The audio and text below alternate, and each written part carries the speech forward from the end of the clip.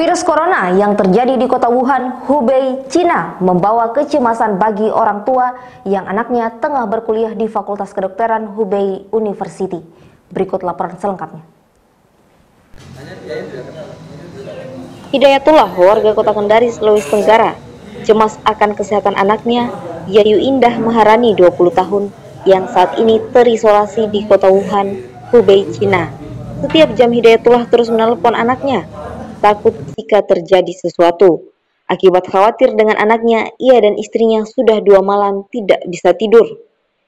Yayu Indah Maharani merupakan anak pertamanya yang saat ini tengah berkuliah di Fakultas Kedokteran Hubei University di kota Wuhan, Cina, di mana kota ini paling banyak korban yang terjangkit virus corona.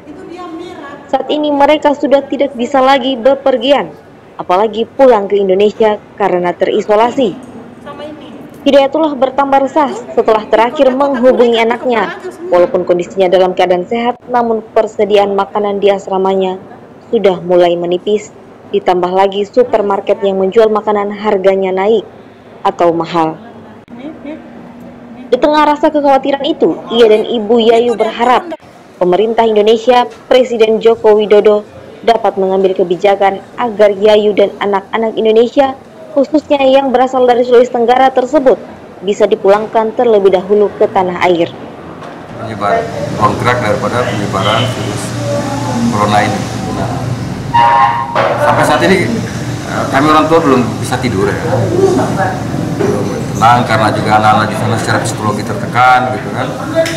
Nah, sesegera mungkin saya kira pemerintah cari jalan keluar saya kira tidak perlu harus menunggu ada korban gitu kan. Karena keadaan mereka sehat-sehat saja tetapi kan psikologi yang terganggu bagaimana cara diplomasi pemerintah Indonesia? Termasuk KBRI di Beijing untuk bisa menenangkan kita orang tua dan menenangkan anak-anak kita. Di sana yang sekarang mereka merasa tertekan secara psikologi. Karena tidak bisa ke mana-mana tidak bisa keluar. Di sana walaupun juga dalam kontrol ketat uh, pihak kampus masing-masing. Saat ini ada 10 orang mahasiswa asal Sulawesi Tenggara yang menjalani perkuliahan di Fakultas Kedokteran Hubei di kota Wuhan. Di antaranya, ada yang berasal dari Kabupaten Konawe Utara dengan menempuh kuliah melalui jalur beasiswa dan jalur umum.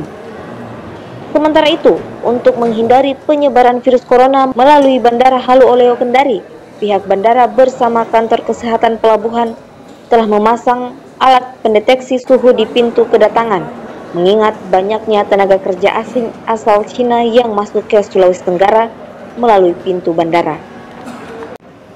Dari Kompleks Blok M Bende Kendari, tim Sultra Lain mengabarkan.